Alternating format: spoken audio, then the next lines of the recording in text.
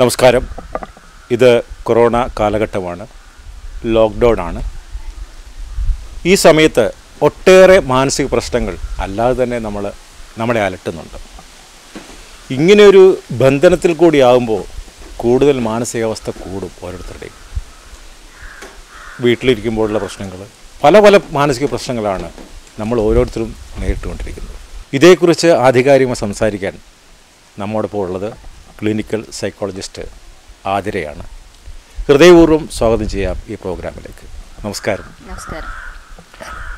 അപ്പം എന്തൊക്കെ മാനസിക പ്രശ്നങ്ങളാണ് ഈ ഒരു കാലഘട്ടത്തിൽ നമ്മൾ നേരിടുന്നത് മാനസിക പ്രശ്നങ്ങൾ എന്ന് പറയുമ്പം ശരിയാണ് ഈ ഒരു കാലയളവിൽ ഒരുപാട് മാനസിക പ്രശ്നങ്ങൾ നമ്മൾ നേരിടുന്നുണ്ട്.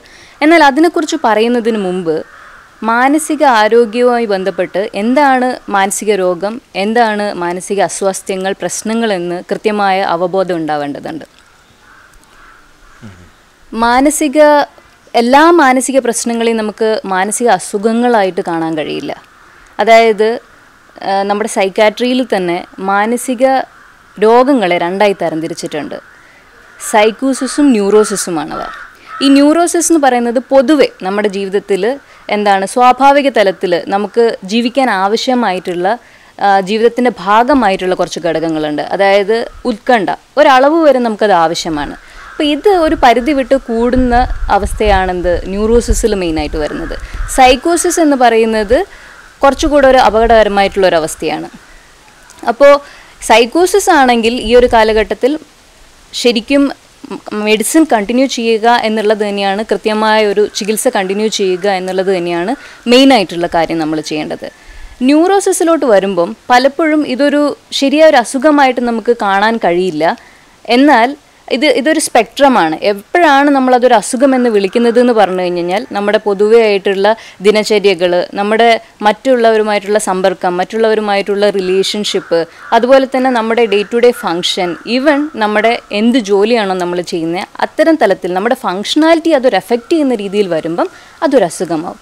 ഈ മാനസിക രോഗങ്ങളിൽ സൈക്കോസിസ് എന്ന് പറയുന്നത് കുറച്ച് അപകടകരമായിട്ടുള്ള ഒരു അവസ്ഥയാണ്.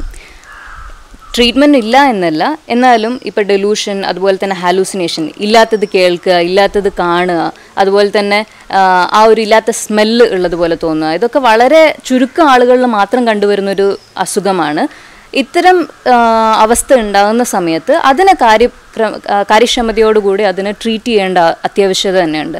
മെയിനായിട്ട് മെഡിസിൻസ് തന്നെയാണ് ആവശ്യം. കാരണം തലച്ചോറിൽ ഒരുപാട് കെമിക്കൽസിന്റെ ന്യൂറോ കെമിക്കൽസ് എന്ന് പറയും. വ്യത്യാസങ്ങൾ വരുന്നത് കൊണ്ടാണ് ഈ അസുഖങ്ങൾ മെയിനായിട്ടും വരുന്നത്. അതുകൊണ്ട് തന്നെ അതിനെ അതിന്റേതായ പ്രാധാന്യത്തോടുകൂടി തന്നെ നമ്മൾ നോക്കിക്കാണേണ്ടതാണ് മറ്റ് രോഗങ്ങളിലേക്ക് വരുമ്പോൾ അതായത് ഞാൻ പറഞ്ഞ ന്യൂറോസിസിലേക്ക് വരികയാണെങ്കിൽ ന്യൂറോസിസിൽ അതിനെ ഞാൻ ഈ പറഞ്ഞതുപോലെ തന്നെ ഒരു അസുഖം എന്ന് വിളിക്കുന്നതിന്റെ തൊട്ട് മുമ്പേ വരെയുള്ള അവസ്ഥയിലൊക്കെ പലപ്പോഴും നമ്മൾ രോഗിയോട് പറയുന്ന ഒരു കാര്യമുണ്ട്. രോഗിയല്ലേ? ആ ഒരു വ്യക്തിയോട് പറയുന്ന ഒരു കാര്യമുണ്ട്. എന്തിനാണ് ഇത്ര പേടിക്കുന്നത്? നീ വെറുതെ ചിന്തിച്ചു കൂട്ടുന്നതാണ്. അല്ലെങ്കിൽ ഇതൊന്നും അത്ര പേടിക്കേണ്ട ആവശ്യമില്ല എന്നൊക്കെ. പക്ഷേ നമ്മൾ എത്ര പറഞ്ഞാലും അവർ മാറാത്ത ഒരു അവസ്ഥയിലേക്ക് എത്തുമ്പം വീട്ടുകാർക്കാണെങ്കിലും കൂട്ടുകാർക്കാണെങ്കിലും അതിനെ അങ്ങോട്ട് അംഗീകരിക്കാൻ പറ്റാത്തൊരവസ്ഥ വരും. ഇത്തരം സമയങ്ങളിൽ അവരെ എങ്ങനെ സഹായിക്കണം? കാരണം അവർക്ക് തോന്നുന്ന ഒരു ഭയം അല്ലെങ്കിൽ പേടി എപ്പോഴും നിങ്ങളുടെ ശ്രദ്ധ പിടിച്ചു പറ്റാനോ അല്ലെങ്കിൽ അവർക്ക് നമ്മളെ ഒന്ന് കളിപ്പിക്കാൻ വേണ്ടി അങ്ങനെ ചെയ്യുന്നതായിരിക്കില്ല. അവരുടെ ശരിയായ അവർ ഉത്കണ്ഠയായിരിക്കാം പുറത്തേക്ക് വരുന്നത്. അപ്പോൾ അതിനെ അതിന്റെതായ രീതിയിൽ നോക്കിക്കണ്ട് അവരെ സഹായിക്കണം. സഹായിച്ചില്ലെങ്കിൽ അത് പിന്നീടൊരു രോഗാവസ്ഥയിലേക്ക് എത്തിച്ചേരാം. അതാണ് അവിടെയുള്ള മെയിനായിട്ടുള്ളൊരു പ്രാധാന്യം അർഹിക്കുന്ന ഒരു കാര്യമെന്ന് പറയുന്നത്. ഈ ഒരു അവസ്ഥയിൽ അതായത് എല്ലാവരും മാനസിക സംഘർഷങ്ങളിലൂടെയാണ് കടന്നു പോകുന്നത് കാരണം ജോലിയില്ല ഈ ഒരു ലോക്ക്ഡൗൺ എന്ന് പറയുന്നത് നമ്മൾ ഇപ്പോൾ തീരും ഇപ്പോൾ തീരും എന്ന് വിചാരിക്കും തോറും അതിങ്ങനെ നീട്ടിക്കൊണ്ട് പോവുകയാണ്. നമ്മുടെ ചുറ്റുപാടിലും പലർക്കും അസുഖമുള്ളതായി നമ്മൾ ദിനംപ്രതി ന്യൂസിലൂടെ വാർത്തകളിലൂടെ അറിയുകയാണ്. പിന്നെ ഇതിന്റെ ഒരു ഭീകരത ഇപ്പോഴും പലർക്കും ഇതിന്റെ കറക്റ്റായിട്ടുള്ള ട്രീറ്റ്മെന്റ് എന്താണെന്ന് അറിയില്ല. അത് ആദ്യമൊക്കെ പതിനാല് ദിവസം അല്ലെ പതിനാറ് ദിവസം ക്വാറന്റൈനിൽ ഇരിക്കണം ഇപ്പോൾ അത് ഇരുപത്തെട്ട് ദിവസത്തേക്ക് മാറ്റി. ഇപ്പോഴും രോഗലക്ഷണങ്ങളൊന്നും ഇല്ലാതെ അത് പടരാം എന്ന് വന്നു.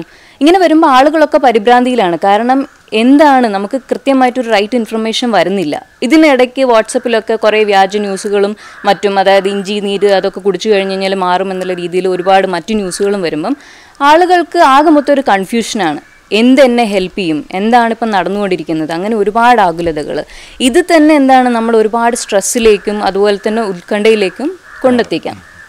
ഒരു പരിധിവരെ സാധാരണക്കാരായിട്ടുള്ള ആളുകൾ സുഹൃത്തുക്കളോട് സംസാരിച്ചും മറ്റു കാര്യങ്ങൾ ചെയ്തുമൊക്കെ എന്താണ് ഇതിനെ എങ്ങനെയെങ്കിലും ഡീൽ ചെയ്യും. പക്ഷേ ജന്മനാൽ അല്ലെങ്കിൽ വ്യക്തിപരമായി കുറച്ച് ഉത്കണ്ഠയുള്ള ആളുകൾ അതായത് ആങ്സൈറ്റി പ്രോൺ ആയിട്ടുള്ള ആൾക്കാരുണ്ടാവും. വ്യക്തിത്വത്തിന്റെ ഭാഗമായിട്ട് പേഴ്സണാലിറ്റി തന്നെ ആങ്സൈറ്റി എന്താ പേഴ്സണാലിറ്റി ഉള്ള ആൾക്കാരുണ്ടാവും. ഇത്തരക്കാർക്ക് ഇത് വളരെ ബുദ്ധിമുട്ടാണ് ഇത് എങ്ങനെ ഡീൽ ചെയ്യുക എന്നുള്ളത് കാരണം ഓൾറെഡി അവർ ആങ്സൈറ്റി പ്രോൺ ആണ്. അതിനോടൊപ്പം തന്നെ ഇത്തരം ഒരു അവസ്ഥ ഇങ്ങനെ ചുറ്റിപ്പറ്റി അതിന് ഒരുപാട് കാരണങ്ങൾ അവർക്ക് പ്രസിപിറ്റേറ്റിംഗ് ഫാക്ടേഴ്സ് എന്ന് പറയും. ഇഷ്ടംപോലെ കാരണങ്ങളാണ്. അപ്പം അതുകൊണ്ട് അവരെന്ത് ചെയ്യുമെന്ന് വെച്ച് കഴിഞ്ഞാൽ കൂടുതൽ വൾണറബിൾ ആയിട്ടുള്ള ഒരു സ്റ്റേജിലേക്ക് എത്തിപ്പെടുകയാണ് ചെയ്യുന്നത്. ഇത്തരക്കാർക്ക് വേണ്ടിയും അതുപോലെ തന്നെ ഞാൻ ഈ പറഞ്ഞ ന്യൂറോസിസിൽ തന്നെ വരുന്ന രണ്ട് കണ്ടീഷൻസ് ആണ് ഉത്കണ്ഠ ആങ്സൈറ്റി പിന്നെ ഒ സി ഡി അതായത് ഒബ്സസീവ് കമ്പൾസീവ് ഡിസോർഡർ എന്ന് പറയും.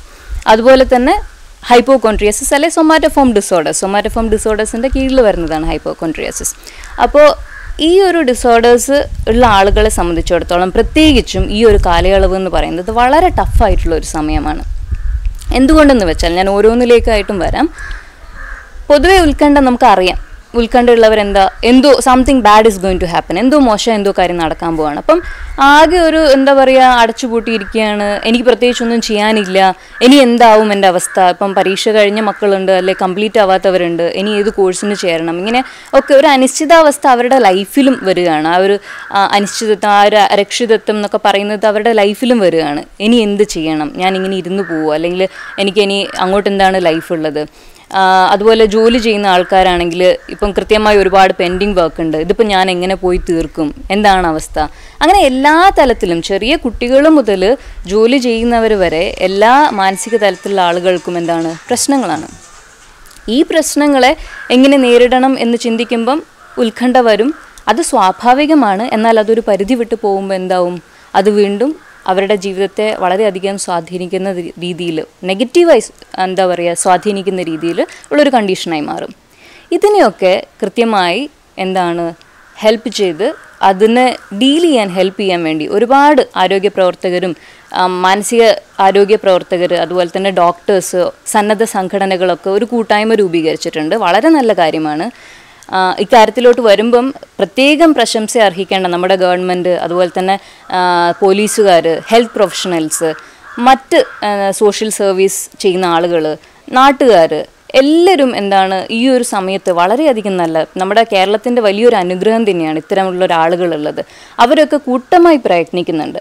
നമ്മുടെ നാട്ടിൽ മാത്രമല്ല വേറൊരു വലിയ അനുഗ്രഹം എന്ന് പറയുന്നത് നമ്മുടെ പ്രവാസികൾക്കും ഇത്തരം ഒരു അവസ്ഥയിൽ കാരണം ഇവിടെ നമുക്ക് നാട്ടുകാരുണ്ട് നമ്മുടെ വീട്ടുകാരുണ്ട് സംസാരിക്കാൻ. പ്രവാസികളൊക്കെ ഒരു റൂമിൽ ഇങ്ങനെ കഷ്ടപ്പെട്ട് കഴിയുകയാണ് ഒരുപാടധികം ആളുകൾ അപ്പോൾ അവരുടെ പ്രശ്നങ്ങൾ പോലും മാനസിക പ്രശ്നങ്ങൾ പോലും പരിഹരിക്കാൻ വേണ്ടിയിട്ട് നമ്മളൊരു ഒരുപാട് കൂട്ടായ്മ. ഒന്നല്ല ഇപ്പം ഞാൻ അതിന്റെ ഒരു മൂന്നാൽ ഗ്രൂപ്പിലൊക്കെ അംഗമാണ് അവർ വീണ്ടും വീണ്ടും അത് അങ്ങനെ മുന്നോട്ട് ഇറങ്ങി വരികയാണ് അവരെയൊക്കെ സഹായിക്കാൻ വേണ്ടിയിട്ട്. നമ്പേഴ്സ് അവൈലബിൾ ആണ് ഓൺലൈനായിട്ട് കൗൺസിലിംഗ് കൊടുക്കുന്നു ഫോണിലൂടെ കൗൺസിലിംഗ് കൊടുക്കുന്നു. വളരെ എന്താ പറയുക പ്രചോദനം ഉൾക്കൊണ്ടുകൊണ്ട് പുറത്തേക്ക് വരുന്ന ഒരുപാട് ആളുകൾ പ്രായഭേദമന്യേ ചെറുപ്പക്കാർ മാത്രമല്ല എല്ലാ പ്രായത്തിലുള്ള ആൾക്കാരും വരുന്നുണ്ട്. അതൊരു വലിയ എന്താണ് നമ്മുടെ നാടിന്റെ ഭാഗ്യം തന്നെയാണ് അങ്ങനെയുള്ള ആളുകളുള്ളത്. അപ്പോൾ അത് ഒരുപാട് സഹായിക്കുന്നുണ്ട്. എങ്കിലും വീട്ടിലുള്ളവർക്ക് അതുപോലെ തന്നെ ഇത്തരം കണ്ടീഷൻസിലൂടെ കടന്നു പോകുന്നവർക്ക് നമ്മളിപ്പോൾ ചെയ്യുന്ന പ്രോഗ്രാം പ്രോഗ്രാമിലൂടെ എന്തെങ്കിലും ഒരു അറിവ് കിട്ടുകയാണെങ്കിൽ അത് അവരുടെ ജീവിതത്തിലേക്ക് ഒരു മാറ്റം ഉണ്ടാക്കാൻ സഹായിക്കുകയാണെങ്കിൽ അത് വലിയ കാര്യം തന്നെയാണ്. ഇതിന്റെ കൂടെ നമുക്ക് ഇതും കൂടെ. ഒരുപാട് എന്താണ് ഇത്തരം പരിപാടികൾ ഇപ്പോൾ യൂട്യൂബിലാണെങ്കിലും മറ്റ് പല ടി വി ചാനലുകളിലും ഈവൻ നമ്മുടെ മുഖ്യമന്ത്രി വരെ എന്താണ് ഇത്തരം ടി വി ചാനലിലൂടെ ഒരുപാട് അറിവുകൾ നമുക്ക് പകർന്നു തരുന്നുണ്ട്. കൃത്യമായ അറിവുകൾ എന്ത് ചെയ്യണം അതുപോലെ തന്നെ ഇപ്പം ലോക്ക്ഡൗൺ ടൈമിൽ സ്ട്രെസ്സൊക്കെ മാറ്റി നമ്മുടെ വീട്ടു കുടുംബക്കാരോട് എങ്ങനെ സ്പെൻഡ് ചെയ്യണം എന്നൊക്കെ പറഞ്ഞു തരുന്നുണ്ട്. ഒരു ആവർത്തനമാവാതിരിക്കാൻ നമുക്ക് ശ്രമിക്കാം. എന്നിരുന്നാലും കുറേയൊക്കെ എന്താണ് നമുക്ക് ഈ ഒരു ടൈമിൽ ചെയ്യാൻ പറ്റുന്ന കുറച്ച് കാര്യങ്ങളാണ് ഷെയർ ചെയ്യുക. പലപ്പോഴും ഒരു ആവർത്തനമായി തോന്നാം. എങ്കിലും ഇത് ആർക്കെങ്കിലും സഹായകമാവുകയാണെങ്കിൽ ആവട്ടെ എന്നുള്ള വലിയൊരു ഉദ്ദേശത്തോടു കൂടെ നമുക്കിത് കണ്ടിന്യൂ ചെയ്യാം. ഒട്ടേറെ ദാമ്പത്യ പ്രശ്നങ്ങളാണ് ഇപ്പം വനിതാ കമ്മീഷനാണ് ശരി. ഇങ്ങനെയൊക്കെ പല പല കേസുകൾ നമ്മളിപ്പം ഈ ഒരു ഒരു മാസമായിട്ട് അടച്ചിരിക്കുമ്പോൾ ആ പ്രശ്നങ്ങളെ എങ്ങനെ തരണം ചെയ്യാൻ പറ്റുമെന്നാണ് അങ്ങ് പറയുന്നത് ദാമ്പത്യ പ്രശ്നങ്ങളെക്കുറിച്ച് പറയുമ്പം ഇപ്പോൾ ഫാമിലി തെറാപ്പി ഒക്കെ ചെയ്യുന്ന സമയത്ത് ഞങ്ങൾ പറയാറുള്ള ഒരു കാര്യമാണ്. എപ്പോഴും കപ്പിൾസിന് ദം ദമ്പതിമാർക്ക് എന്താണ് ക്വാളിറ്റി ടൈം വേണമെന്ന് ഇത് ശരിക്കും പറഞ്ഞു കഴിഞ്ഞാൽ ഈ കോവിഡ് കാലഘട്ടം ഈ ഒരു ക്വാളിറ്റി ടൈം കിട്ടാൻ വേണ്ടിയിട്ടുള്ള വളരെ നല്ലൊരു സമയമാണ്. ഇപ്പം ഈ കോവിഡ് വന്നുകൊണ്ട് ഉർവശി ശാപം ഉപഹാ ഉപകാരം എന്ന് പറയുന്നത് പോലെ ഒരുപാട് നല്ല കാര്യങ്ങൾ വന്നിട്ടുണ്ട്. നമ്മുടെ പ്രകൃതി മാറിയിട്ടുണ്ട്. ഒരുപാട് ചേഞ്ചസ് വന്നു. അതുപോലെ തന്നെ ദാമ്പത്യത്തിലും കുടുംബത്തിലും ഇവൻ കുട്ടികളുള്ള കാര്യത്തിലാണെങ്കിൽ പോലും വീടുകളിലാണെങ്കിൽ പോലും നമുക്ക് ഒരുപാട് മാറ്റങ്ങൾ കൊണ്ടുവരാൻ പറ്റിയ സമയമാണ്. ശരിക്കും പറഞ്ഞാൽ ഇതൊരു തെറാപ്പി ടൈമാണ് നമ്മൾ തെറാപ്പിയിൽ പറയുന്നതാണ് കുടുംബത്തിലെല്ലാവരും ഒന്നിച്ച് ചേരുക എന്നുള്ളത്.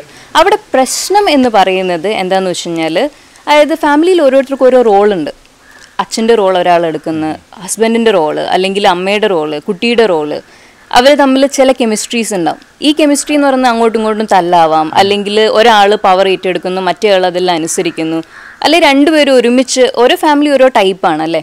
അപ്പം ഇപ്പോഴും പ്രശ്നങ്ങൾ ഉണ്ടാവുന്ന ഫാമിലിയിൽ ഓൾറെഡി എന്താണ് ഈ ഒരു കാലഘട്ടത്തിൽ പ്രശ്നം ഉണ്ടായി വന്നൊന്നുമല്ല. ഓൾറെഡി ഉണ്ട്. പിന്നെ എന്താ ആ പ്രശ്നം കണ്ടിന്യൂ ചെയ്യാൻ കൂടുതൽ സമയം കിട്ടി. അപ്പോൾ ഈ ഒരു ടൈം പ്രശ്നങ്ങൾ കണ്ടിന്യൂ ചെയ്യാൻ യൂസ് ചെയ്യുന്നതിന് പകരം അത് നോക്കി മനസ്സിലാക്കി എവിടെയാണ് പ്രശ്നം എന്ന് മനസ്സിലാക്കിയിട്ട് അതിനെ ഡീൽ ചെയ്യാൻ ഉപയോഗിക്കുകയാണെങ്കിൽ അത് വലിയൊരു എന്താണ് അവസരമായിട്ട് നമുക്ക് ഈ ഒരു കാലഘട്ടത്തെ കാണാം. അപ്പം എങ്ങനെ ഇത് എന്ന് ചോദിച്ചു കഴിഞ്ഞാൽ പലപ്പോഴും ഇപ്പം ചെറിയ ചെറിയ പ്രശ്നങ്ങളും ഒക്കെ ആണെങ്കിലും വലിയ ഈഗോ ഒന്നും ഇല്ലാതെ നമ്മൾ മനസ്സിലാക്കാൻ ശ്രമിക്കുക. തുടർന്ന് എന്താ തുറന്ന ചർച്ചകൾ ഉണ്ടാക്കുക കുടുംബത്തിൽ. അതായത് നീ എന്താണ് പ്രതീക്ഷിക്കുന്നത് എന്നിൽ നിന്ന്. പലപ്പോഴും നമ്മളത് പറയില്ല. നമ്മൾ ഇൻഡയറക്റ്റ് കമ്മ്യൂണിക്കേഷനാണ് അതായത് ഭാര്യയ്ക്ക് ഭർത്താവിനോട് എന്തെങ്കിലും ദേഷ്യം ഉണ്ടെങ്കിൽ അത് ഇന്നേ കാര്യത്തിനല്ലേ ചേട്ടൻ വൈകി വരുന്നത് കൊണ്ട് എനിക്ക് ദേഷ്യം. അതല്ല പറയാം. പകരം വൈകി വന്ന് കുറച്ചേരം കഴിഞ്ഞ് വേറെ എന്തെങ്കിലും ചെയ്ത് കഴിഞ്ഞാൽ നിങ്ങളോട് ആരാ അത് എടുക്കാൻ പറഞ്ഞല്ലേ ഞാനിത് ഇവിടെ ചെയ്തു വെച്ചതാണ്. എന്തിനത് ചെയ്തു? ഈ രീതിയിലാണ് എന്താ നമ്മൾ പെരുമാറുക. അതിന് പകരം പ്രത്യേകിച്ചും അത് സ്ത്രീകളിലാണ് കാണുന്നത്. അപ്പോൾ ഈ ഒരു ഇതിന് പകരം ഡയറക്റ്റായിട്ട് അതായത് ചേട്ടൻ അന്ന് ഇങ്ങനെ ലേറ്റായി വന്നു. അല്ലെ ആൾക്കാരുടെ മുന്നിൽ വെച്ച് എന്നെ കുറിച്ച് ഇങ്ങനെ പറഞ്ഞത് എനിക്കിഷ്ടമായില്ല അല്ല ഞാൻ വെച്ച കറി എല്ലാവരും നല്ലതാന്ന് പറഞ്ഞു. പക്ഷെ ചേട്ടൻ മാത്രം പറഞ്ഞില്ല അതിന് രുചിയുണ്ട് എന്നുള്ളത്. ഇങ്ങനെ പറഞ്ഞു കഴിഞ്ഞ് കഴിഞ്ഞാൽ മറ്റേ ആൾക്ക് മനസ്സിലാവും ഇതെന്താണ് ഭാര്യ ഉദ്ദേശിക്കുന്നത് അല്ലെങ്കിൽ ഹസ്ബൻഡ് എന്താണ് ഉദ്ദേശിക്കുന്നത് എന്ന്. എന്നിട്ട് എന്താണ് അവർ മാറാൻ ഉദ്ദേശിക്കുന്നുണ്ടെങ്കിൽ ഒരാൾക്ക് മാറാൻ നമ്മൾ അവസരം കൊടുക്കണം. അത് മനസ്സിലാക്കി കൊടുക്കണം എന്താണ് തെറ്റ് എന്നുള്ളത്. അപ്പം തുറന്ന ചർച്ചകൾ ഒരുപാട് അതിനെ സഹായിക്കും. അപ്പം ഇതുവരെ തുറന്ന ചർച്ചകൾ നടത്താത്തവരാണെങ്കിൽ അത് നടത്തി നോക്കാം. എന്നിട്ടും ചില ചില കെമിസ്ട്രി അങ്ങനെയാണ്. എന്നിട്ടും ചിലപ്പോൾ വർക്ക് ആവില്ല. ചിലപ്പം എന്താണ് ടോക്സിക് ആയിട്ടുള്ള റിലേഷൻഷിപ്പ് ഉണ്ടാവും. അതായത് വളരെ ഒരാൾ എല്ലാം ചെയ്യുന്നു എല്ലാം മനസ്സിലാക്കി ചെയ്തുകൊണ്ടിരിക്കുന്നു മറ്റേ മനസ്സിലാക്കുന്നില്ല. അങ്ങനെയുള്ള ദമ്പതികളും ഉണ്ടാവും. അപ്പോൾ അവിടെയൊക്കെ കൃത്യമായിട്ട് എന്താണ് ഈ ഒരു രംഗത്ത് കഴിവ് നേടിയിട്ടുള്ള പ്രൊഫഷണൽസിന്റെ ഹെൽപ്പ് തന്നെ വേണം. അപ്പം താൽക്കാലിക സമയത്തേക്ക് ഒരു ഹെൽപ്പിന് വേണ്ടി അവർക്ക് എന്താണ് കൗൺസിലിംഗ് താൽക്കാലികം മാത്രമല്ല ഇപ്പോൾ ഓൺലൈൻ കൗൺസിലിംഗ് ഇപ്പം വളരെ പോപ്പുലറായി വന്നുകൊണ്ടിരിക്കുകയാണ്. അങ്ങനെ ഓൺലൈൻ കൗൺസിലിംഗ് ചെയ്യുന്ന ആളുകളെ കാണാം. ഇനി ആർക്കെങ്കിലും മാനസികമായിട്ടുള്ള ബുദ്ധിമുട്ടോ അല്ലെങ്കിൽ അഡിക്ഷൻ പോലെയുള്ള പ്രോബ്ലംസ് ഒക്കെ ഉണ്ടെങ്കിൽ അത് ഡീൽ ചെയ്യാൻ വേണ്ടിയിട്ട് ഡോക്ടേഴ്സിനൊക്കെ കാണാവുന്നതാണ്. പ്രത്യേകിച്ച് ഈ അഡിക്ഷനൊക്കെയുള്ള പ്രശ്നം എന്താണെന്ന് വെച്ച് കഴിഞ്ഞാൽ അഡിക്ഷൻ എന്നുള്ള രീതിയിൽ കംപ്ലീറ്റ് ആയിട്ടില്ലെങ്കിലും അപ്പോൾ മദ്യാസക്തിയൊക്കെ മദ്യം കിട്ടാതെ വരുമ്പോഴുള്ള ഒരു ദേഷ്യവും അമർഷവും ഒക്കെ എന്ത് ചെയ്യും? നമ്മൾ മൊത്തം ഫാമിലി മെമ്പേഴ്സിനോട് തീർക്കും. അപ്പോൾ ഈ ഒരു അവസരം അത് മാറ്റിയെടുത്ത് എന്താ പറയുക അവരുടെ സ്വന്തമായിട്ടുള്ള ഒരു മാന്യത അതായത് ഒരുപാട് അഡിക്ഷനിലോട്ട് പോയവരോട് സമൂഹം അവർ നോക്കിക്കാണുന്നത് ഒരു വേറൊരു രീതിയിലാണ് താഴ്ന്ന തരത്തിലാണ്. അപ്പം അത് മാറ്റിയെടുക്കാനും നമുക്കുണ്ടായ മാനക്കേട് അത് കാരണം ഉണ്ടായ മാനക്കേട് മാറ്റിയെടുക്കാനും അതുപോലെ തന്നെ കുടുംബത്തിനോട് ഒരു ഉത്തരവാദിത്തമുള്ള ഒരു കുടുംബനാഥനായി അല്ലെങ്കിൽ കുടുംബത്തിലൊരു അംഗമായി മാറി നമ്മുടെ ആരോഗ്യത്തിനും നല്ല രീതിയിൽ ഒരു ചേഞ്ചസ് വരുത്തുന്ന രീതിയിൽ ജീവിക്കാനും ഈ ഒരു ടൈം ഉപയോഗപ്പെടുത്തുകയാണെങ്കിൽ അത് വളരെ ഫലപ്രദമായിരിക്കും. അപ്പം ഞാൻ പറഞ്ഞു വന്നത് എന്താണെന്ന് വെച്ച് കഴിഞ്ഞാൽ ഫാമിലി ഇഷ്യൂസിൽ കുറേയൊക്കെ തുറന്ന ചർച്ചകൾ ചെയ്യുക പിന്നെ ഈ ക്വാളിറ്റി ടൈം രണ്ടുപേരും വെറുതെ ഇരിക്കുകയാണ് വീട്ടിൽ അപ്പം റോളൊക്കെ അങ്ങോട്ടും ഇങ്ങോട്ടും അതായത് എപ്പോഴും ഇരുപത്തിനാല് മണിക്കൂറും കിച്ചണിൽ നിൽക്കുന്ന വൈഫാണെങ്കിൽ ഹസ്ബൻഡ് ഒന്ന് കിച്ചണിൽ കയറുക കാര്യങ്ങൾ അറിയില്ലെങ്കിൽ ചോദിച്ച് മനസ്സിലാക്കി ചെയ്യുക വൈഫ് ചില ഭാര്യമാരുണ്ടായത് അത് തുടരുത് അല്ലെങ്കിൽ അത് നിങ്ങൾ കയറിയിട്ട് അരമണിക്കൂർ ഞാൻ കൊണ്ട് അരമണിക്കൂർ കൊണ്ട് ഞാൻ ചെയ്യുന്ന കാര്യങ്ങൾ നിങ്ങൾ മൂന്ന് മണിക്കൂറായാലും തീരില്ല ഞാനങ്ങ് ചെയ്യും എന്ന് പറയുന്നത്. അങ്ങനെയല്ല. അതായത് ഇപ്പൊ തിരക്കൊന്നുമില്ലല്ലോ. എല്ലാവരും വീട്ടിലിരിക്കുകയാണ്. അപ്പം ആ, നിങ്ങൾ ചെയ് പറഞ്ഞു മനസ്സിലാക്കി കൊടുക്കുക കാര്യങ്ങൾ അങ്ങനെയാണ്. ചെറിയ ചെറിയ വിട്ടുവീഴ്ചകൾ ചെയ്തു കൊടുക്കുക. നമ്മൾ ചെയ്യുന്നത്ര തൃപ്തികരമായിട്ട് അവർ ചെയ്ത് എന്നുണ്ടാവില്ല. ചിലപ്പോൾ അത്ര വൃത്തിയായി എന്ന് വരില്ല. അപ്പം അതിനൊക്കെ വിട്ടുവീഴ്ചകൾ ചെയ്തു കൊടുക്കുക. എന്നിട്ട് പരസ്പരം അത് അങ്ങോട്ടും ഇങ്ങോട്ടും എൻജോയ് ചെയ്യുക. കാരണം ആർക്കും ഒരാൾക്കും ഹൺഡ്രഡ് പെർസെന്റേജ് മറ്റേ ആളാവാൻ പറ്റത്തില്ല അപ്പോൾ അത് മനസ്സിലാക്കി. പിന്നെ കുട്ടികളെയും ദാമ്പത്യത്തിൽ നമ്മൾ കുട്ടികളെ ഉൾപ്പെടുത്തേണ്ടതാണ്. അതായത് ഇരുപത്തിനാല് മണിക്കൂറും ടി വി ഫോണ് അല്ലെങ്കിൽ കളി മാത്രമാവാതെ പിള്ളേരെയും നമ്മൾ എന്ത് ചെയ്യുക? കിച്ചണിലേക്കൊക്കെ ഒന്ന് വിളിക്കുക. എന്താണ് ജീവിതം എന്ന് അവരെ പഠിപ്പിക്കുക. എങ്ങനെയാണ് കാര്യങ്ങൾ ഉണ്ടാക്കുക എന്നുള്ളത്. അത് വെറുതെ പറഞ്ഞ് അവരെ നീ ഇത് ചെയ്ത് ചെയ്യുന്ന ഏൽപ്പിച്ചാൽ മാത്രം പോരെ. അതൊരു രസകരമായിട്ടൊരു ഫാമിലി ടാസ്ക് ആക്കിയിട്ട് എടുക്കുക അതായത് ഇന്ന് നമ്മളെല്ലാവരും ഒരുമിച്ച് കുക്ക് ചെയ്യുന്നു. അല്ലെങ്കിൽ ഇന്ന് മോന്റെ വകയാണ് ഇന്നേ ഐറ്റം അത് ചെയ്തു കഴിഞ്ഞ് കഴിഞ്ഞാൽ അതിനെക്കുറിച്ചൊരു എന്താ അവലോകനം. ആ അവലോകനം എന്ന് പറയുന്നത് ഡയറക്റ്റ് തന്നെ പോരാ എന്ന് പറയുന്നതിന് പകരം വെൽ ഡൺ ലൈക്ക് പ്രചോദനം വേണം. ഒരു പ്രചോദനം ഇല്ലാണ്ട് നമുക്കൊന്നും ഒന്നും ചെയ്യാൻ താല്പര്യം ഉണ്ടാവില്ലല്ലോ. അപ്പം ചെറിയ രീതിയിൽ നന്നായി പ്രചോദനം കൊടുത്ത് പതുക്കെ പതുക്കെ അതിനകത്തുള്ള മിസ്റ്റേക്സ് ചൂണ്ടിക്കാണിച്ച് അടുത്ത പ്രാവശ്യം ഉണ്ടാകുമ്പോൾ നമുക്ക് ഇതിലും നന്നാക്കി ഉണ്ടാക്കണം. അപ്പോൾ കുട്ടികൾക്കൊരു ആഘോ ആഘോഷം അല്ലെ ഒരു ഒരു ഇഷ്ടമാണ്. എനിക്കിനി ഇത്തിരി കൂടെ നന്നായിട്ട് ചെയ്യണം എന്നുള്ളത്. ആ രീതിയിൽ നമ്മൾ പതുക്കെ പതുക്കെ എന്ത് ചെയ്യാണ്? അവരെയും കൂടെ ഇങ്ങോട്ട് കൊണ്ടുവരികയാണ് അല്ലാതെ ഒറ്റയടിക്ക് ഇപ്പം ഫോണിന്റെ ഈ ഒരു കുറച്ച് കാലമായി. അപ്പോൾ ഈ ഒരു ടൈമിൽ മുഴുവനായിട്ട് ടി വിന്റെ മുന്നിൽ ഇരിക്കുന്ന അല്ലെങ്കിൽ ഫോൺ യൂസ് ചെയ്യുന്ന കുട്ടിയോട് ഇന്ന് മുതൽ നീ ഫോൺ യൂസ് ചെയ്യണ്ട. വാ കിച്ചണിലേക്ക് വാന്ന് പറഞ്ഞു കഴിഞ്ഞാൽ പിള്ളേർ വന്നെന്ന് വരില്ല. അപ്പോൾ അത് മനസ്സിലാക്കി പതുക്കെ പതുക്കെ എന്ത് ചെയ്യാണ്? സമയം എടുത്തുകൊണ്ട് ഓക്കെ ഇന്നൊരു അരമണിക്കൂർ നമുക്ക് വേണ്ടി മാറ്റി വയ്ക്കുക ബാക്കി സമയം നീ യൂസ് ചെയ്തോ. ഈ അരമണിക്കൂർ നാളെ ഒരു മണിക്കൂറാക്കി എടുക്കുക പതുക്കെ പതുക്കെ അവർ പോലും അറിയാതെ നമ്മൾ അവരെന്ത് ചെയ്യാണ്? നമ്മുടെ കാര്യങ്ങളിലേക്ക് ഇൻവോൾവ് ചെയ്യിപ്പിക്കുകയാണ് അതാണ് വേണ്ടത്. അല്ലാതെ നമ്മൾ കർക്കശം പിടിച്ച് ഒരു ദിവസം കൊണ്ട് മാറാൻ നോക്കിയാൽ കാര്യമില്ല. പിന്നെ ഏറ്റവും ഇമ്പോർട്ടന്റ് എന്ന് വെച്ച് കഴിഞ്ഞാൽ നമ്മൾ നല്ല മാതൃകയാകണം. ഇതൊക്കെ പറഞ്ഞുകൊണ്ട് പിള്ളേരൊന്ന് ഫ്രീ ആയിരിക്കുമ്പം കളിക്കാൻ വാ അല്ലെങ്കിൽ നമുക്കിത് ചെയ്യാമെന്ന് പറയുമ്പോൾ നമ്മൾ നമ്മുടെ ഫോൺ വെച്ചിരിക്കുക അല്ലെങ്കിൽ നമ്മൾ ടി വി കാണുക. ആ, ഭാഗ്യത്തിന് സീരിയൽസ് ഒക്കെ ഇപ്പം നിർത്തി. പക്ഷെ അതിന്റെ റീപ്ലേ ചെയ്യുന്നുണ്ട്. അപ്പൊ ഇതിന്റെ മുന്നിൽ ഇരിക്കുന്നതിന് പകരം എല്ലാവരും ഒരുമിച്ചിരുന്ന് എല്ലാവർക്കും കളിക്കാൻ പറ്റിയ എന്തെങ്കിലും കളികൾ അല്ലെങ്കിൽ മറ്റെന്തെങ്കിലും പഠനപരമായിട്ടുള്ള കാര്യങ്ങൾ നമ്മുടെ കുടുംബപരമായിട്ടുള്ള അല്ലെങ്കിൽ നമ്മുടെ ജീവിതത്തിൽ നടന്ന പ്രശ്നങ്ങൾ പ്രയാസങ്ങൾ മറ്റ് ബുദ്ധിമുട്ടുകളെ കുറിച്ചുള്ള ചർച്ച ഇതൊക്കെ കുട്ടികൾക്ക് ഒരുപാട് ഗുണം ചെയ്യും. അതായത് ജീവിതത്തെക്കുറിച്ച് പഠിക്കാനും നമ്മൾ സിനിമയിൽ കാണുന്നത് മാത്രമാണ് ഇപ്പോഴത്തെ പല കുട്ടികളുടെയും ജീവിതം. അതുകൊണ്ടാണ് തോൽവിയൊക്കെ വരുമ്പോൾ അവർ പെട്ടെന്ന് തന്നെ എന്താണ് മടുത്തു ജീവിതം അല്ലെ മരിക്കണം എന്നുള്ളത്. അപ്പോൾ ഇതൊന്നും അല്ല കഷ്ടപ്പാടുകളുണ്ട്. അല്ലെ അച്ഛന്റെ ലൈഫിൽ ഇങ്ങനെയൊക്കെ നടന്നിട്ടുണ്ട് അമ്മയുടെ ലൈഫിൽ ഇങ്ങനെയൊക്കെ നടന്നിട്ടുണ്ട് എന്നിട്ട് ഞങ്ങൾ ഇവിടെ എത്തി. അപ്പോൾ കുട്ടികൾക്ക് അതൊക്കെ ഒരു ധൈര്യമാണ്. അത് മാത്രമല്ല അതായത് കോപ്പിംഗ് സ്കിൽസ് എന്ന് പറയും. ഒരു പ്രോബ്ലം വരുമ്പോൾ എങ്ങനെ നോക്കിക്കാണണം എന്നുള്ളത്. എന്റെ അച്ഛനും ഇങ്ങനെ ഒരു അവസ്ഥ ഉണ്ടായിരുന്നു. അല്ലെ അമ്മ ഇന്നേ സിറ്റുവേഷൻസിലൂടെയാണ് വന്നത്. അങ്ങനെ കുട്ടികൾക്ക് മാനസികമായിട്ടുള്ള വളർച്ച ഉണ്ടാക്കാൻ മറ്റുള്ളവരെ മനസ്സിലാക്കാൻ അതായത് മറ്റുള്ള ആളുകളുടെ ഇമോഷൻസ് മനസ്സിലാക്കാൻ. ഇത്തരം emotional development intellectual development social ഡെവലപ്മെന്റിനൊക്കെ ഇത്തരം ചർച്ചകൾ ഒരുപാട് സഹായിക്കും. അതാണ് അവിടെ വേണ്ടത്. പിന്നെ തീർച്ചയായും ഞാൻ ഈ പറഞ്ഞതുപോലെ പരിഹരിക്കാൻ പറ്റാത്ത പ്രശ്നങ്ങളാണെങ്കിൽ എന്താണ് ഇത്തരം പ്രൊഫഷണൽസിന്റെ ഹെൽപ്പ് തന്നെ നേടണം. അതിന് ഇഷ്ടം പോലെ അവൈലബിലിറ്റി ഉണ്ട് ഇപ്പം. ഇപ്പം ആർ സി ഐ തന്നെ ഇപ്പം ഇന്ത്യൻ റീഹാബിലിറ്റേഷൻ കൗൺസിൽ ഓഫ് ഇന്ത്യയാണ് അവരൊരു ലിസ്റ്റ് പ്രസിദ്ധീകരിച്ചിട്ടുണ്ട് അവരുടെ കീഴിലുള്ള മാനസികാരോഗ്യ പ്രവർത്തകരുടെ. അതുപോലെ തന്നെ നമ്മുടെ നാട്ടിലാണെങ്കിൽ ഇംഹാൻസ് അല്ലെങ്കിൽ ഇഷ്ടംപോലെ സന്നദ്ധ സംഘടനകൾ ഓരോരോ ടീമായിട്ടുള്ള group of medical health professionals ഇവരൊക്കെ ഓരോ ടീമുമായിട്ട് വന്നിട്ടുണ്ട്. അവരൊക്കെ നമ്പേഴ്സ് അവൈലബിൾ ആണ്. അപ്പം അവൈലബിലിറ്റി ഉണ്ട്. നമ്മൾ യൂസ് ചെയ്താൽ മതി. റിസോഴ്സസ് ഇഷ്ടംപോലെ ഉണ്ട്. നമ്മൾ യൂസ് ചെയ്യും ടൈമിൽ അത്ര തന്നെ. മദ്യാസക്തി. ഒരുപക്ഷേ നമ്മൾ വിചാരിക്കും പോലെയല്ല. ഇപ്പം അത് വളരെ കുറഞ്ഞിട്ടുണ്ട്. അപ്പോൾ അങ്ങനെയും ആകാം.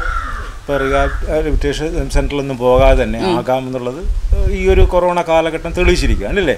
അതേക്കുറിച്ച് എന്താണ് പറയാറുള്ളത് ശരി പറഞ്ഞാൽ ഈ കാര്യത്തിലോട്ട് വരുമ്പം നമ്മൾ ശ്രദ്ധിക്കേണ്ട ഒരു കാര്യം ഒരുപാട് ഇപ്പം തുടക്കത്തിൽ ഇങ്ങനെ മദ്യ ഷോപ്പുകളൊക്കെ അടച്ചു അല്ലെ അടയ്ക്കാൻ പാടില്ല. പിന്നെ ഇത് നേരായ രീതിയിലൂടെ അല്ല ഗവൺമെന്റ് ചെയ്യുന്നത് പിന്നീട് അല്ല അങ്ങനെയാണ് ചെയ്യുന്നത്. ഒരുപാട് ചർച്ചകൾ നടന്നൊരു വിഷയമാണിത്. അപ്പോൾ ഈ ഒരു വിഷയത്തെക്കുറിച്ച് സംസാരിക്കുമ്പോൾ നമ്മൾ മനസ്സിലാക്കേണ്ട ഒരു കാര്യം എന്ന് പറയുന്നത് മദ്യം ഉപയോഗിക്കുന്ന എല്ലാവരും എന്താണ്? അഡിക്റ്റ് അല്ല. അഡിക്റ്റ് അല്ല. അഡിക്ഷൻ എന്ന് പറയുന്ന വേറൊന്നൊന്നൊരു കാര്യമാണ്. അതായത് ഡിപ്പെൻഡൻസി സിൻഡ്രോം എന്ന് പറഞ്ഞിട്ടാണ് നമ്മൾ പറയുക അതായത് മദ്യം കഴിച്ചു തുടങ്ങി കഴിഞ്ഞ് കഴിഞ്ഞാൽ പിന്നീട് പിന്നീട് ടോളറൻസ് അതായത് ഇപ്പം കഴിക്കുന്ന ലെവൽ കഴിച്ചിട്ടും എനിക്ക് ആ ഒരു സുഖം കിട്ടുന്നില്ല.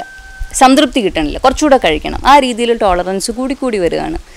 പിന്നെ എന്റെ മറ്റു കാര്യങ്ങളിൽ നിന്നൊക്കെ ശ്രദ്ധ മാറി എനിക്കിപ്പം മെയിനായിട്ട് അതായത് ഞാൻ ജോലി ചെയ്യുന്ന ആളാവാം കുടുംബത്തോട് ടൈം സ്പെൻഡ് ചെയ്യുന്ന ആളാവാം പക്ഷെ ഇപ്പോൾ അതൊന്നുമല്ല എനിക്ക് പ്രധാനം ഇപ്പം മദ്യമാണ് എന്റെ പ്രൈമറി എന്നുള്ള രീതിയിൽ അത് പ്രാധാന്യം കൂടി കൂടി വരികയാണ്. പിന്നെ മറ്റ് കാര്യങ്ങൾ അതായത് ഹാംഫുൾ ആയിട്ടുള്ള യൂസ് എനിക്ക് ബോഡിയിൽ പ്രശ്നങ്ങൾ വന്നു തുടങ്ങുകയാണ്. എന്റെ ഒരു ഡോക്ടർ പറയാണ് കരളിന് പ്രോബ്ലം ഉണ്ട് ചെറുതായിട്ട് ഫാറ്റി ലിവർ വന്നു വരുന്നുണ്ട്. അപ്പോൾ നിങ്ങൾ കുറയ്ക്കണം അല്ലെ നിർത്തണം എന്ന് പറഞ്ഞിട്ട് പോലും എനിക്ക് നിർത്താൻ പറ്റുന്നില്ല. ഞാൻ വീണ്ടും വീണ്ടും കഴിക്കുകയാണ് എന്റെ ശരീരത്തിന് കേടുവരുത്തുന്ന രീതിയിൽ. ആ രീതിയിൽ വീണ്ടും കണ്ടിന്യൂ ചെയ്യാം. ഇനി ഇതും അല്ല എന്നുള്ളതാണെങ്കിൽ എനിക്ക് ഓരോരിക്കലും തുടക്കത്തിൽ ഞാൻ കഴിക്കുന്നത് പോലെയല്ല. ഇപ്പം എന്റെ കൺട്രോൾ കുറഞ്ഞു പോവാണ്. തുടക്കത്തിൽ എനിക്ക് വേണമെങ്കിൽ രണ്ട് ബാഗ് എനിക്ക് അവൈലബിൾ ആണെങ്കിലും ഒന്ന് കഴിച്ചിട്ട് വേണമെങ്കിൽ എനിക്ക് നിർത്താം. പക്ഷേ ഇപ്പോൾ എനിക്ക് രണ്ട് കഴിച്ചിട്ടും മൂന്ന് കിട്ടിയില്ല എനിക്ക് ഭയങ്കര ബുദ്ധിമുട്ടാണ്. അപ്പോൾ ഈ രീതിയിൽ എന്റെ കൺട്രോൾ കുറഞ്ഞു കുറഞ്ഞു വരികയാണ് ഇത് യൂസ് ചെയ്യുന്നതിൽ. ഇത്തരം കാര്യങ്ങളിൽ ചേഞ്ചസ് വരുമ്പം അപ്പം നമ്മൾ ശ്രദ്ധിക്കണം. ഇതൊരു അഡിക്ഷനിലോട്ട് പോവുകയാണ്. അഡിക്ഷൻ ആയി കഴിഞ്ഞ് കഴിഞ്ഞാൽ പിന്നെ അത് നിർത്തി കഴിഞ്ഞ് ഒരുപാട് വിഡ്രോവൽ സിംറ്റംസ് വരും. ഈ വിഡ്രോവൽ സിംറ്റംസ് എന്ന് പറയുന്നത് പലപ്പോഴും അവർക്ക് തന്നെ നേരിടാൻ കഴിയാത്തതായിരിക്കും. അതുകൊണ്ടാണ് മെഡിക്കൽ ഹെൽപ്പ് നിർബന്ധമായും വേണം എന്ന് പറയുന്നത്. പലരും ആത്മഹത്യയൊക്കെ ചെയ്തത് നമ്മൾ പത്രത്തിലൂടെ വായിച്ചു. വിഡ്രോവൽ സിംറ്റംസ് പലതരത്തിൽ എന്താണ് വരും. അതായത് ആ ടൈമിന് മദ്യം കിട്ടാതെ വന്ന ഡിപ്പെൻഡൻസി വന്ന ആളുകൾക്ക്. മദ്യം മാത്രമല്ല കേട്ടോ. ഇതിപ്പോൾ നമ്മൾ തുടർച്ചയായി മദ്യമാണ് ഇപ്പം കൂടുതലും പറയുന്നത് ചർച്ച ചെയ്യപ്പെടുന്നത്. മറ്റേത് സബ്സ്റ്റൻസ് ആയിക്കോട്ടെ. അപ്പം ഇത്തരക്കാർക്ക് വിഡ്രോവൽ സിംറ്റംസ് വരുന്ന സമയത്ത് പലപ്പോഴും മാനേജ് ചെയ്യാൻ പറ്റില്ല. അതുകൊണ്ടാണ് ഇത്തരം മരണമൊക്കെ നടന്നത് അതായത് ആത്മഹത്യ ചെയ്തു എന്നുള്ള ന്യൂസൊക്കെ നമ്മൾ കേട്ടിട്ടുള്ളത്. ഈ വിഡ്രോവൽ സിംറ്റംസ് പലപ്പോഴും കൈവിറയൽ അല്ലെങ്കിൽ നെഞ്ചരിപ്പ് ഇത്തരത്തിൽ ഒതുങ്ങില്ല. പലപ്പോഴും അതൊരു സീഷർ അല്ലെങ്കിൽ എന്താ പറയുക അപസ്മാരം ഒക്കെ വരുന്ന രീതിയിലാവാം. മറ്റ് മാനസികമായിട്ടുള്ള വയലൻസ് വയലന്റ് ആവുക പെട്ടെന്ന് പെട്ടെന്ന് ദേഷ്യം വരിക പിന്നെ അവർക്ക് ചിലപ്പം സെൽഫ് ഹാം ചെയ്യാനുള്ള ടെൻഡൻസി വരും. ഇങ്ങനെ ഒരു ബുദ്ധിമുട്ട് വരുന്ന സമയത്ത്. മറ്റ് ശാരീരിക പ്രശ്നങ്ങളൊക്കെ അവർക്ക് അനുഭവപ്പെടാം. ഈ ഒരു ഇതിൽ അതിലേക്ക് ഒരുപാട് ഞാൻ പോകുന്നില്ല. അപ്പോൾ ഇത്തരം ശാരീരിക പ്രശ്നങ്ങളൊക്കെ വരുന്ന സമയത്ത് ശരിക്കും അത് ഒരു ഡോക്ടറെ കണ്ട് ഒരു സൈക്കാട്രിസ്റ്റിന്റെയോ അല്ലെങ്കിൽ ഒരു നല്ല ഡോക്ടറിന്റെയോ സേവനം അനുഷ്ഠിച്ച് പലപ്പോഴും മരുന്ന് കഴിക്കേണ്ട ഒരു സ്ഥിതിയിലേക്ക് അത് പോകാറുണ്ട്. മരുന്ന് കഴിച്ചു കഴിഞ്ഞ് കഴിഞ്ഞാലേ മാറൂ എന്നുള്ളൊരു അവസ്ഥയിലെത്താറുണ്ട്. ഭാഗ്യവശാൽ നമ്മുടെ ഈ ഒരു അവസ്ഥ ഈ ഒരു കണ്ടീഷനെ നന്നായി അറിഞ്ഞതുകൊണ്ട് തന്നെ പല മെഡിക്കൽ രംഗത്തുള്ള ആളുകളും മുന്നോട്ട് വരികയും ഈ ഒരു പ്രശ്നം ഉന്നയിക്കുകയും ചെയ്തുകൊണ്ട് ഒരുപാട് ഡി അഡിക്ഷൻ സെന്റേഴ്സ് ഇപ്പം തുറന്ന് പ്രവർത്തിക്കുന്നുണ്ട്.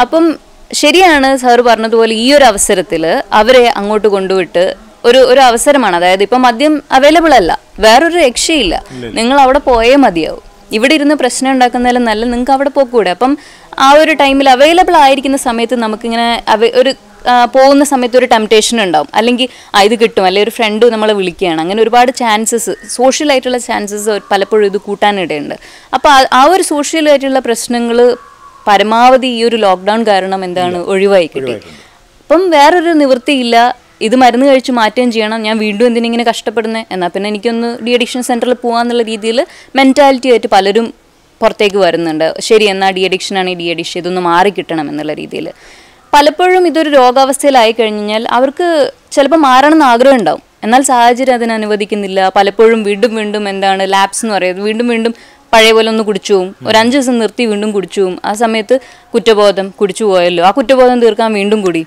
ഇങ്ങനെ. അപ്പം ഇത്തരം പ്രശ്നങ്ങൾ മാറ്റാൻ ഡി അഡിക്ഷൻ സെന്റേഴ്സ് വർക്ക് ചെയ്യുന്നുണ്ട്. അപ്പം ആഗ്രഹമുള്ളവർ എന്തായാലും പോയിട്ട് ചെയ്യുക. പിന്നെ ഫാമിലിയൊക്കെ മാക്സിമം ഇവരെ സപ്പോർട്ട് ചെയ്ത് കഴിഞ്ഞിട്ട് എന്ത് ചെയ്യുക ഈ ഒരു ടൈം അതിന് യൂട്ടിലൈസ് ചെയ്ത് കഴിഞ്ഞ് കഴിഞ്ഞാൽ ഒരുപാട് അഡിക്ഷൻ പ്രോബ്ലം എന്താ അഭിമുഖീകരിക്കുന്ന ആളുകൾക്ക് അത് മാറ്റിയെടുക്കാൻ വലിയൊരു നല്ല അവസരമാണിത്. അതുകൂടാതെ സാർ ഇപ്പോൾ പറഞ്ഞ പോലെ വീട്ടിലുള്ള പലരും യൂസ് ചെയ്യുമ്പം അതിൽ ഒരുപാട് പേര് നിർത്താൻ അവർക്ക് സഹായകമായി എന്ന്. ശരിയാണ്. അതായത് ചെറിയ ചെറിയ യൂസ് അല്ലെങ്കിൽ ഈ ഒരു അഡിക്ഷനിലോട്ട് എത്തി വരുന്ന ആളുകൾ അവർക്കൊക്കെ പതുക്കെ പതുക്കെ സ്വന്തമായി നിർത്താൻ കഴിയും. പക്ഷെ എപ്പോഴും എല്ലാവർക്കും പറ്റിയെന്ന് വരില്ല. അപ്പം നമുക്ക് ഒരിക്കലും കമ്പയർ ചെയ്യാൻ പറ്റില്ല. അതായത് അടുത്ത വീട്ടിൽ ഇന്ന ആൾ നിർത്തി നിനക്ക് എന്തുകൊണ്ട് നിർത്താൻ പറ്റിയില്ല? അപ്പം നമ്മുടെയൊക്കെ ബോഡി മെഡിസിൻ ആയിക്കോട്ടെ അല്ലെങ്കിൽ ഒരു സബ്സ്റ്റൻസ് ആയിക്കോട്ടെ അതിനോട് പ്രതികരിക്കുന്ന രീതി വ്യത്യസ്തമാണ്. ഇത് യൂസ് ചെയ്യുന്ന ആളുകളും പറയും. അതായത് എന്റെ സുഹൃത്ത് പത്ത് വർഷമായി യൂസ് ചെയ്യുന്നു. അവൻ ഒരു കുഴപ്പമില്ല അവൻ നല്ല ആരോഗ്യമായിട്ടിരിക്കുകയാണ്. എനിക്ക് എന്താ കുടിച്ചാൽ എന്ന് പറയും. അപ്പം അങ്ങനെ പറയുമ്പം അവന്റെ ശരീരമല്ല നിന്റെ ശരീരം. അവന്റെ അച്ഛനും അമ്മയ്ക്കും ഉണ്ടായിരുന്ന എന്താണ് എക്സ് വൈ അല്ലെ ഏത് ക്രോമസോമാണോ ജോയിൻ ചെയ്ത് വന്നിട്ട് അവനുണ്ടായത്. അവന്റേതായ കണ്ണു മൂക്കൊക്കെ വ്യത്യസ്തമാണ്. അതുപോലെ അവനൊരു രോഗാവസ്ഥയോട് അല്ലെങ്കിൽ ഒരു സബ്സ്റ്റൻസിനോട് പ്രതികരിക്കുന്ന രീതി വ്യത്യസ്തമാണ്. അതായിരിക്കില്ല നിനക്ക്. പലപ്പോഴും ഞങ്ങൾ ഡി അഡിക്ഷൻ സെന്റേഴ്സിൽ ഇപ്പം വർക്ക് ചെയ്യുമ്പം രോഗി പറയുന്ന കാര്യമാണ്. ആ എന്തോ ഡോക്ടറെ എന്നോട് മാത്രം നിർത്താൻ പറയുന്നത്. ഇപ്പം മറ്റൊരു അവർക്കൊന്നും എത്ര വർഷമായിട്ട്? എനിക്ക് ഞാൻ വിശ്വസിക്കില്ല എന്താണ് മദ്യം കാരണമാണ് എനിക്ക് ഈ പ്രശ്നം വന്നതെന്ന്. അവർക്ക് അംഗീ അംഗീകരിക്കാൻ പറ്റില്ല. എന്റെ സുഹൃത്തുക്കളൊക്കെ ഇതിലും കൂടുതൽ കഴിച്ചിട്ടുണ്ട്. അപ്പം നിങ്ങൾ മനസ്സിൽ നിങ്ങളുടെ ബോഡിക്ക് ഇത് പറ്റില്ല. ചിലർക്ക് എന്താ പറയുക വ്യക്തിഗതമായ അലർജി ഉണ്ടാവില്ലേ? അതായത് ഇന്നേ കാര്യത്തോട്. അതുപോലെ നിങ്ങൾക്ക് ഇത് പറ്റില്ല. അപ്പം നിർത്തുക. പിന്നെ അതൊരു അഡിക്ഷൻ എന്നുള്ള രീതിയിൽ പോയി കഴിഞ്ഞ് കഴിഞ്ഞാൽ എല്ലാവർക്കും എന്തെങ്കിലും ഒരു തരത്തിലുള്ള പ്രശ്നം ഉണ്ടാവും. അപ്പം ദാമ്പത്യത്തിൽ തന്നെ അതായത് ലൈംഗികമായിട്ടുള്ള കാര്യങ്ങളിൽ പോലും പ്രശ്നങ്ങൾ വരുന്നൊരു കാര്യമാണിത്. കുട്ടികൾ എന്താണ് പാരൻസ് ഡ്രിങ്ക് ചെയ്യുന്ന ആൾക്കാരാണെങ്കിൽ കുട്ടികൾ അത് എഫക്റ്റ് ചെയ്യും. അപ്പോൾ ഇത്തരം പ്രശ്നങ്ങളൊക്കെ ഉണ്ട്. അപ്പോൾ അത് മനസ്സിലാക്കി ഒരു അഡിക്ഷൻ എന്നുള്ള രീതിയിൽ മാറിയിട്ടുണ്ടെങ്കിൽ എന്താണ്? നിർബന്ധമായും നിങ്ങൾ ഈ ഒരു സമയം യൂട്ടിലൈസ് ചെയ്ത് അതിനെ മാറ്റിയെടുക്കാൻ ശ്രമിക്കുക എന്ന് തന്നെ ഞാൻ പറയും. പിന്നെ സാർ പറഞ്ഞ പോലെ തന്നെ കുറേ പേർക്കൊക്കെ അല്ലാതെ തന്നെ മാറ്റിയെടുക്കാൻ കഴിയുന്നുണ്ട്. അത് ആത്മധൈര്യം ആത്മധൈര്യമുള്ളത് കൊണ്ടാവാം പിന്നെ അവരുടെ കണ്ടീഷൻ അത്ര വേഴ്സ് ഇല്ലാത്തത് കൊണ്ടാവാം. പിന്നെ എന്താണ്? അവരുടെ ബോഡി കുറച്ചുകൂടെ എന്താണ്? അതിന് ആപ്റ്റാണ് അത് മാറ്റാൻ അവർക്ക് ബോഡിക്ക് കഴിയുന്നുണ്ട്. അപ്പോൾ അത് നല്ല കാര്യം. അങ്ങനെ തന്നെ മാറ്റാൻ കഴിയട്ടെ. അങ്ങനെ തന്നെ മാറ്റാൻ കഴിയട്ടെ എന്ന് തന്നെയാണ് ഞങ്ങൾ പ്രാർത്ഥിക്കുന്നത്. അതുപോലെ തന്നെ പറയുകയാണ് ഗാർഹിക നാം ദാമ്പത്യ പ്രശ്നത്തിലാണ് ഗാർഹിക പീഡനങ്ങൾ കൂടിക്കൊണ്ടിരിക്കുകയാണ് അതെ. ഈ കാലഘട്ടത്തിൽ. അതേക്കുറിച്ച് എന്താ പറയുക? ഗാർഹിക പീഡനത്തെക്കുറിച്ച് പറയുമ്പോൾ ഒരുപാട് എലമെൻസ് അതിൽ വരുന്നുണ്ട്. നമുക്കിപ്പോൾ അതിനെക്കുറിച്ച് പറയുമ്പോൾ ഒറ്റയടിക്ക് പറയാൻ പറ്റില്ല. ഒരുപാട് എലമെൻസ് അത് പലപ്പോഴും ഒന്ന് ഇപ്പം മദ്യാസക്തിയൊക്കെ ഉള്ള ആളുകൾ തമ്മിലുള്ള അതായത് ഇപ്പം ഹസ്ബൻഡ് കുടിച്ചു വരുന്നു ഭാര്യയെ തല്ലുന്നു ഒന്ന് അപ്പം അത് കൃത്യമായി ഡീൽ ചെയ്ത് കഴിഞ്ഞ് കഴിഞ്ഞാൽ അതൊരു പരിധി വരെ നമുക്ക് നിയന്ത്രിക്കാം. രണ്ട് ഇപ്പം മറ്റ് കാര്യങ്ങളാൽ അതായത് പണ്ട് മുതലേ ഉള്ളതാണ് സമ്പത്തിന്റെ സമ്പത്തിന്റെ പ്രശ്നം അത്തരം പ്രശ്നങ്ങളൊക്കെ. അതൊക്കെ കൃത്യപരമായി കൃത്യമായി നിയമപരമായിട്ടുള്ള കാര്യങ്ങളിലൂടെ ഡീൽ ചെയ്യണം. അല്ലെങ്കിൽ ഇപ്പം അവർക്ക് മാനസികമായിട്ട് മാനസിക തലത്തിൽ പ്രോബ്ലം ഉണ്ട് ഉണ്ടല്ലേ അവർ തമ്മിലൊരു ചേർച്ചയുണ്ട് ചേർച്ചക്കുറവുണ്ട് എന്നാണെങ്കിൽ അതെന്താണ് ഒരു മാനസിക ആരോഗ്യ വിദഗ്ധന്റെ അല്ലെങ്കിൽ മെഡിക്കൽ ഹെൽപ്പ് തന്നെ സീക്ക് ചെയ്യണം. ഇതൊന്നുമല്ല ഒരുപാട് നിയമസാധ്യതകളുള്ള കാര്യമാണിത്. അപ്പം ഈവൻ ഡോക്ടേഴ്സ് പോലും അത് കാണുമ്പം അതിന്റെ നിയമസാധ്യതകൾ കണ്ട് മനസ്സിലാക്കിയിട്ടാണ് അത് ചെയ്യുക. അത് റിപ്പോർട്ട് ചെയ്യേണ്ടത് ചിലപ്പോൾ റിപ്പോർട്ട് ചെയ്യേണ്ടി വരും. വീണ്ടും അത് കണ്ടിന്യൂ ചെയ്യുകയാണെങ്കിൽ. അപ്പം ഇത്തരം ഗാർഹിക പീഡനങ്ങൾ ഇപ്പം വീട്ടുകാർക്ക് ആരെങ്കിലും അങ്ങനെ അനുഭവിക്കുന്നുണ്ടെങ്കിൽ ഇത് പറഞ്ഞതുപോലെ തന്നെ നല്ല സമയമാണ്. നോക്കുക എന്താണ് പ്രശ്നം. അതായത് മദ്യാസക്തിയാണോ? അങ്ങനെയാണോ ഡി അഡിക്ഷൻ സെന്ററിൽ ചേർക്കുക. അല്ല അവർക്ക് മാനസികമായിട്ട് പ്രോബ്ലം ഉള്ളത് കൊണ്ടാണോ ഇങ്ങനെ ചെയ്യുന്നത്? അതായത് ചില വ്യക്തികളുണ്ട്. വ്യക്തിത്വത്തിന്റെ ഭാഗമായിട്ട് പെട്ടെന്ന് ദേഷ്യം വരും. ദേഷ്യം കൺട്രോൾ ചെയ്യാൻ പറ്റുന്നില്ല. എന്തെങ്കിലും ചെയ്തു. പിന്നീട് കുറ്റബോധം വരും. അപ്പോൾ ഈ ദേഷ്യം കൺട്രോൾ ചെയ്യാൻ എന്തെങ്കിലും മാർഗങ്ങളുണ്ടോ എന്നുള്ളത് നോക്കുക. ഒരുപാട് എന്താ ഓൺലൈനായിട്ടുള്ള മെറ്റീരിയൽസ് അവൈലബിൾ ആണ് ആങ്കർ മാനേജ്മെന്റിനൊക്കെ അപ്പോൾ അത് യൂട്ടിലൈസ് ചെയ്യുക. പക്ഷേ നിർബന്ധമായും എന്താണ് പറ്റുകയാണെങ്കിൽ ഒരു ഹെൽപ്പ് ഒരു വിദഗ്ധന്റെ സഹായം തേടുക എന്നുള്ളതാണ്. അപ്പം അങ്ങനെ തേടി അത് കുറയ്ക്കാൻ സഹായിക്കുക. കുടുംബക്കാർ അതിനോടൊപ്പം യോജിച്ച് നിൽക്കുക. കുറച്ചൊക്കെ എന്താണ് അവരെ സപ്പോർട്ട് ചെയ്യുക ആ ടൈമിൽ ദേഷ്യം വരുന്ന സമയത്ത് നമ്മൾ ഇമോഷൻ എക്സ്പ്രസ് ചെയ്യുക. അതായത് ഇമോഷൻസ് എല്ലാവർക്കും ഉണ്ട്. പക്ഷെ അത് എന്താ ഹെൽത്തി വേയിൽ എക്സ്പ്രസ് ചെയ്യുക. എനിക്ക് ദേഷ്യം വരുന്നുണ്ട് കേട്ടോ നമുക്ക് കുറച്ച് നേരം ഒന്ന് മാറി നിൽക്കാം. നമുക്ക് പിന്നീട് സംസാരിക്കാം. ഇത്തരം രീതിയിലൊക്കെ ഒരു പരിധി വരെയൊക്കെ നമുക്ക് എന്ത് ചെയ്യാം? ദേഷ്യം മാനേജ് ചെയ്യാൻ ഹെൽപ്പ് ചെയ്യാം. പിന്നെ ഇപ്പം കുടുംബക്കാർക്ക് ഓൾറെഡി അച്ഛനൊക്കെ ഞാൻ ഇങ്ങനെ ആയിപ്പോയി. ഓൾറെഡി എനിക്ക് ദേഷ്യമുണ്ട്. ഇനി എന്റെ ഭാര്യയ്ക്കും ഇപ്പം ഞങ്ങൾ ദേഷ്യമാണ്. അവർക്ക് മാനേജ് ചെയ്യാൻ ബുദ്ധിമുട്ടുണ്ട്. എപ്പോഴും എല്ലപ്പോഴും ഓരോ ഓടി ഓടി ഒരു മെന്റൽ ഹെൽത്ത് പ്രൊഫഷണൽ കാണാൻ ആരും അങ്ങനെ തയ്യാറാവില്ല പലപ്പോഴും. അങ്ങനെ തയ്യാറായാൽ നല്ലത് തയ്യാറായില്ലെങ്കിലും നമ്മുടെ കുട്ടികൾക്ക് അത് വരാതിരിക്കാൻ വേണ്ടിയിട്ട് അവരെ എന്താണ് ഇമോഷണൽ ബാലൻസ് ചെയ്യാൻ പഠിപ്പിക്കുക. അതായത് ദേഷ്യം വരുന്ന സമയത്ത് ഞങ്ങൾ പോലെ ആവരുത് കേട്ടോ. നീ ഇങ്ങനെ പറയണം. അല്ലെങ്കിൽ ഇങ്ങനെ ദേഷ്യം ഉണ്ടാകുക പറഞ്ഞാൽ മതി. എന്നിട്ട് നമുക്ക് പതുക്കെ പിന്നീട് എന്താണ് ഡീൽ ചെയ്യാം. അത് അത് നല്ല രീതിയിൽ പറഞ്ഞ് മനസ്സിലാക്കുക അല്ലെങ്കിൽ നമ്മളതൊരു മോഡലാവും ആ രീതിയിൽ. പിന്നെ മറ്റെന്തെങ്കിലും നമ്മുടേതായ പ്രയാസങ്ങളുണ്ടെങ്കിൽ സെൽഫായിട്ട് നമുക്ക് ടൈം കണ്ടെത്താം അത് ഇമ്പോർട്ടന്റ് ആണ്. നമ്മൾ തന്നെ നമുക്കൊരു ടൈം കണ്ടെത്തിയിട്ട്. എപ്പോഴും കുടുംബക്കാരുമായിട്ട് എപ്പോഴും ഒരു ഒരു ഗ്രൂപ്പ് ഓഫ് ആളുകളോട് ഉള്ളത് ഇഷ്ടപ്പെടാത്ത ആളുകളുണ്ടാവും അല്ലേ അങ്ങനെ ഇഷ്ടപ്പെടാത്ത ആളുകൾക്ക് ആണ് കൂടുതൽ സംഘർഷം. ഒരു ഇറിറ്റേഷൻ പിള്ളേർ വരുന്നു അല്ലേ വൈഫ് വരുന്നു അത് പറയുന്നു ഇത് പറയുന്നു. ഞാൻ എന്റേതായ ഒരു സ്വൈര്യവിഹാരം വിഹാരം നടത്തിയ ഒരു സമയമായിരുന്നു. പക്ഷെ ഇപ്പോൾ അതില്ല എന്നുള്ള രീതിയിൽ അങ്ങനെയാണെങ്കിൽ അവർ ഇതൊരു ഈ ഒരു സമയം എന്തുകൊണ്ട് എനിക്ക് ഇങ്ങനെയും ആയിക്കൂടാ? കുടുംബത്തിനോടും കുറച്ച് സമയം സ്പെൻഡ് ചെയ്തുകൂടാ എന്നുള്ള രീതിയിൽ പതുക്കെ കുറേയൊക്കെ മാറാൻ ശ്രമിക്കുക. പെട്ടെന്ന് മാറാൻ ബുദ്ധിമുട്ടാണ് അല്ലേ? നമുക്കത് ശീലമില്ല. അപ്പോൾ എന്ത് ചെയ്യുമെന്ന് വെച്ച് കഴിഞ്ഞാൽ കുറച്ചൊക്കെ നമുക്കായിട്ട് ടൈം കണ്ടെത്തുക. നമ്മുടേതായ ഒരു ടൈം ഒരു അതായത് ഈ ഒരു അരമണിക്കൂർ ഞാൻ ഒന്ന് സ്വസ്ഥമായിരിക്കുകയാണ് കേട്ടോ എന്റെ അടുത്ത് ആരും വരരുതെന്ന് പറഞ്ഞ് നേരത്തെ. അതിനുവേണ്ടി നമ്മൾ അവർക്കുള്ള സമയം കൊടുത്തതിന് ശേഷം നമ്മൾ മാറി നിൽക്കുക. നമുക്ക് നമ്മുടെ പേഴ്സണലായിട്ടുള്ള ഗ്രോത്ത് നമ്മളെക്കുറിച്ചുള്ള ഒരു അവലോകനം നമ്മൾ എന്താണ് ചെയ്തുകൊണ്ടിരിക്കുന്നത് അല്ലെങ്കിൽ ഞാൻ എന്തൊക്കെ ചെയ്തു ഓക്കെ. ഈ ഇപ്പം ഇതൊരു പുതിയ കാര്യമാണെങ്കിൽ കുട്ടികളോട് നല്ല രീതിയിൽ പെരുമാറി ഞാൻ അധികം വഴക്ക് കൂടിയില്ല അപ്പം അതിനെന്നെ എന്ത് സഹായിച്ചു? ഒരു പക്ഷേ ഞാൻ കുറച്ച് കൺട്രോൾ ചെയ്തതാവാം. ഒരു പക്ഷേ ഞാനത് എൻജോയ് ചെയ്യാൻ ശ്രമിച്ചതാവാം. അത് മനസ്സിലാക്കി അത് കണ്ടിന്യൂ ചെയ്യാൻ ശ്രമിക്കുക. എവിടെയെങ്കിലും എനിക്ക് പാകപ്പിഴ പറ്റിയിട്ടുണ്ടോ? അങ്ങനെയാണെങ്കിൽ അത് എന്താണ്? അത് മനസ്സിലാക്കി അത് പിന്നീട് ആവർത്തിക്കാതിരിക്കാൻ ശ്രമിക്കുക. എന്തെന്നെ സഹായിച്ചു? കുടുംബക്കാരെന്നെ സഹായിച്ചിട്ടുണ്ട്. അവരോട് പറയുക. പറയാതെ അവർ വീണ്ടും റിപ്പീറ്റ് ചെയ്യുന്നില്ലല്ലോ. ഓ നീ ആ സമയത്ത് ഞാൻ ഇങ്ങനെ സംസാരിച്ചപ്പം എതിർത്തൊന്നും പറഞ്ഞില്ലല്ലോ. അത് എന്നെ വളരെ സഹായിച്ചു. നീ എന്നെ പറഞ്ഞിരുന്നെങ്കിൽ ഞാൻ ചൂടായെന്നേം ചെയ്തുമായിരുന്നു. നീ പറയാത്ത നന്നായി. അങ്ങനെ പറഞ്ഞു കഴിഞ്ഞാൽ ആൾക്ക് മനസ്സിലായി. ശരിയാ ഞാനിത് പറയുമ്പോഴാണ് പ്രശ്നം. എന്നാൽ ഞാൻ പറയാതിരിക്കാം. കാരണം അവർക്ക് ആർക്കും ഇഷ്ടമല്ലല്ലോ. അങ്ങോട്ടും ഇങ്ങോട്ടും ദേഷ്യം കൂടുന്ന ആർക്കും ഇഷ്ടമാണ്. അപ്പം ഞാൻ പറയാതിരുന്നാൽ മതി. അങ്ങനെ ഒരു മ്യൂച്വൽ അണ്ടർസ്റ്റാൻഡിങ്ങിൽ വന്ന ഒരുപാട് വ്യത്യാസങ്ങൾ വരും. വലിയ രീതിയിലുള്ള ഗാർഹിക പീഡനം എന്താണ്?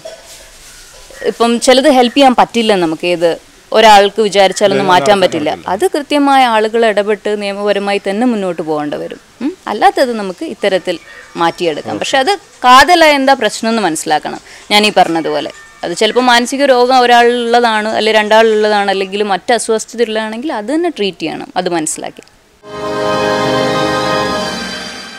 തീർച്ചയായും താങ്കളുടെ സേവനം ഇനി ഞങ്ങൾക്ക് ആവശ്യമാണ്. അപ്പം താങ്കളുടെ നമ്പർ ഞങ്ങൾ കൊടുക്കുന്നുണ്ട്. ഞങ്ങളോട് സഹകരിച്ചതിൽ വളരെ നന്ദി. നമസ്കാരം. താങ്ക്